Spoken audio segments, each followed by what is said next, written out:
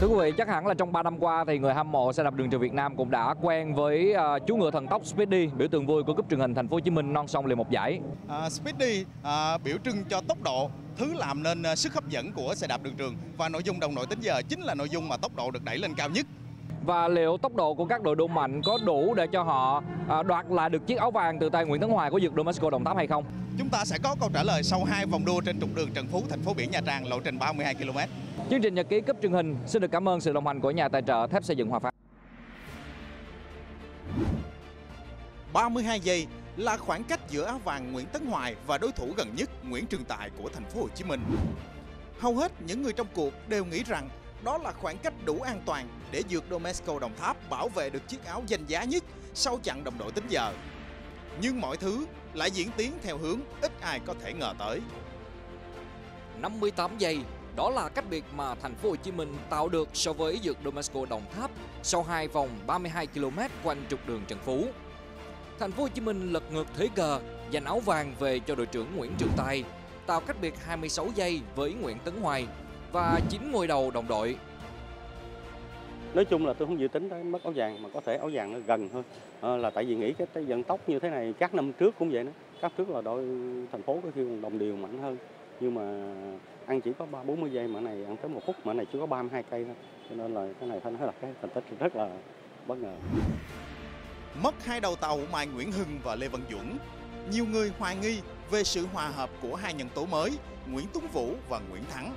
Nhưng đội trưởng mới Nguyễn Trường Tài đã xóa tan mọi hoài nghi khi cầm nhịp đội đua áo đỏ cực tốt. Trong nội dung đồng đội tính giờ, ngoài tầm quan trọng của trang thiết bị thì con người vẫn là nhân tố quyết định. Sự hòa hợp của cả 7 mắt xích giúp thành phố Hồ Chí Minh luôn duy trì được cường độ cao, nhịp độ đều của quần chân để tạo nên tốc độ hoàn hảo nhất. Các học trò của huấn luyện viên Đỗ Thành Đạt đã hoàn thành chặng đua với vận tốc trung bình 50,2 km/h. các em à, rất là phối hợp nhịp nhàng các em à, nghe theo à, nhịp tim của tài nghe theo tốc độ của tài và các em giữ nhịp và các em nó chạy nỗ lực hết mình theo cái nhịp của tài và các em đã đạt được kết quả tốt. Điền với em Việt đã mất tổng sắp nên là hai em phải làm việc nhiều và phút cuối thì bỏ ra thì để cho năm em còn tổng sắp là về về đích.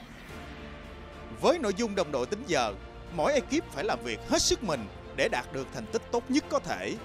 Với vị trí thứ ba dược Domesco Đồng Tháp cũng đã cho thấy sự tiến bộ rõ rệt ở nội dung này. Nhưng trước màn trình diễn ấn tượng của thành phố Hồ Chí Minh việc bảo vệ áo vàng đã không còn là quyền tự quyết của thầy trò huấn luyện viên Trần Văn Quýt. À, tôi rất là hài lòng, tại tốc độ phải nói là chạy cao hơn tập rất là nhiều. Tốc độ rất là tốt. So với các năm trước là tôi chạy năm nay tốt hơn rất là nhiều. À, tốc độ phải nói là rất là cao nhưng mà thua vẫn là thua.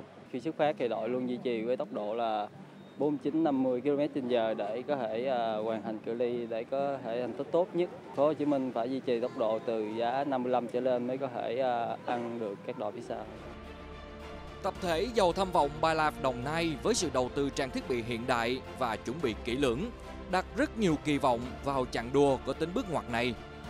Dù kết quả không như mong đợi, nhưng thầy trò huấn luyện viên Đặng Ngọc Tú vẫn có thể hài lòng với vị trí thứ nhì hơn thành phố Hồ Chí Minh 53 giây.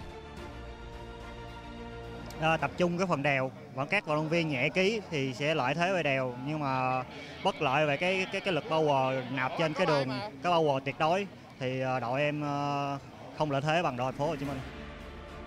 Chiến thắng áp đảo của thành phố Hồ Chí Minh đã tạo nên cục diện mới trong cuộc tranh chấp danh hiệu cao quý nhất áo vàng chung cuộc. Mọi sự tính toán của các đội sẽ nhắm vào những chặng đèo còn lại. Có hai khả năng xảy ra, hoặc Javier Perez sẽ làm nhiệm vụ bảo vệ áo vàng cho Nguyễn Trường Tài, hay ngoại binh người Tây Ban Nha sẽ là mũi tấn công chủ lực. Liệu huấn luyện viên Đỗ Thành Đạt có nhắm cho Nguyễn Trường Tài lần thứ ba mặc áo vàng chung cuộc, hay sẽ chuyển áo vàng qua cho Javier Perez? Tay đua có khả năng chịu được sự tấn công dồn dập trên những ngọn đèo và cơ hội nào cho những đội còn lại? Tài à, rất là có duyên ở trận đồng đội tiếng giờ ở Nha Trang này đã rất là bao năm rồi Tài đã xa- lúc nào cũng về tới Nha Trang và chạy đồng đội và Tài đã giành lại chiếc áo vàng thì năm nay cũng như mọi năm, Tài tin là Tài sẽ cùng các anh em đồng đội và ban huấn luyện sẽ bảo vệ thành công chiếc áo vàng về tới thành phố Hồ Chí Minh. Trên đường đèo thì HVF phải nói là mạnh tuyệt đối rồi, nhưng mà nếu mà các đội chịu ờ, tổng tấn công từ ở dưới đường bằng thì ờ, sẽ làm tạo đồ ngợp cho thành phố thì đội thành phố sẽ khó giữ hơn. Trong 3 năm gần nhất giành danh hiệu cá nhân cao quý nhất của cuộc đua, thành phố Hồ Chí Minh đều đoạt áo vàng ở chặng đồng đội tính giờ và giữ cho đến chung cuộc.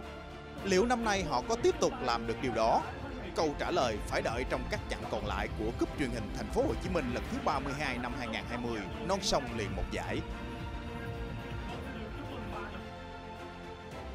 Thưa quý vị, bất ngờ nói tiếp bất ngờ, có thể tình thế mà thành phố Hồ Chí Minh đoạt được chiếc áo vàng từ à, ekip dược Domesco Đồng Tháp, nhiều người có thể nghĩ đến, nhưng với khoảng cách như vậy thì đó thực sự là bất ngờ ngay cả đối với những người trong cuộc. Với cục diện mới này khi mà những ứng viên sừng sỏ nhất cho áo vàng đã lộ diện thì chắc chắn là các tập thể như là Đồng Tháp và Đồng Nai à, cũng như An Giang sẽ phải làm việc rất nhiều ở trong những trận đua còn lại để kỳ vọng có thể lật ngược thế cờ và tạo nên một bất ngờ mới nữa. Và bất ngờ đó có thể cũng sẽ là những cục diện mà tất cả chúng ta cũng đang chờ đợi. Bất ngờ, sẽ nối tiếp bất ngờ nữa. Chương trình nhật ký cũng xin được khép lại tại đây. Cảm ơn sự đồng hành của nhà tài trợ thép xây dựng Hòa Phát.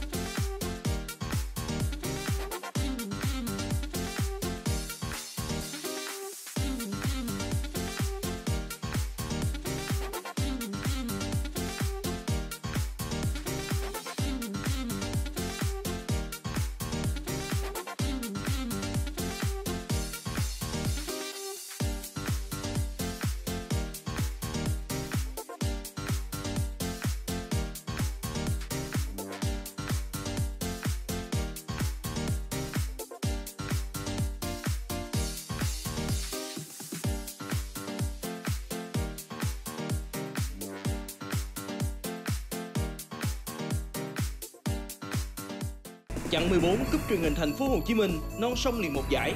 Tiếp tục hành trình từ thành phố Nha Trang đi thành phố Phan Rang, Tháp Chàm, tỉnh Ninh Thuận. Nắng nóng, nhiệt độ cao, Đeo Vĩnh Hy thách thức những guồng chân mạnh mẽ. 6 trên 12 đội đã giành chiến thắng chặn. Liệu sẽ có một ekip mới bước lên bục cao nhất tại thành phố của nắng và gió? Hãy đón xem trực tiếp truyền hình chặng 14 lúc 8 giờ ngày 3 tháng 6 trên kênh HTV9 và HTV Thể thao.